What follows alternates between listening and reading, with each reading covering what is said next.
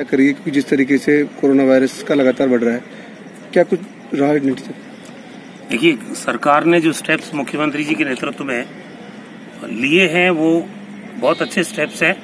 पिछले छः सात दिन में जो स्टेप्स लिए हैं, आज चिकित्सा के क्षेत्र में जो जानी मानी हस्तियाँ प्रदेश में, जिनका अपना नाम है इसी क्षेत्र में, कोई पद्मश्री है, कोई बहुत ऊँची पोजीशंस पर हैं, कोई प्राइवेट हॉस्पिटल्स रन कर रहे हैं।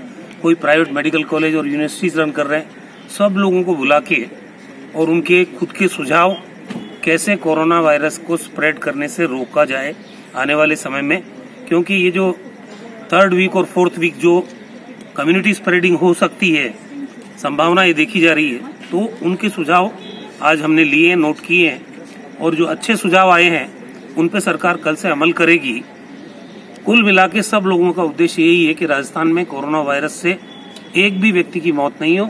हर व्यक्ति की ज़िंदगी सरकार के लिए कीमती है। तो एडवाइजरी जारी करी जा रही है अभी? एडवाइजरी तो दिन में मैंने बता दिया था सारी चीज़ें।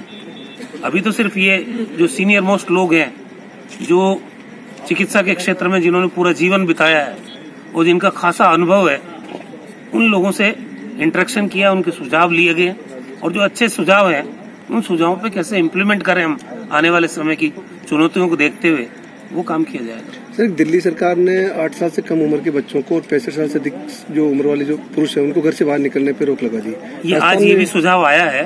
देखिए सुझाव जो भी अच्छे होते हैं वो इम्प्लीमेंट करने के लिए ही होते हैं। तो इस पर भी बात करेंगे।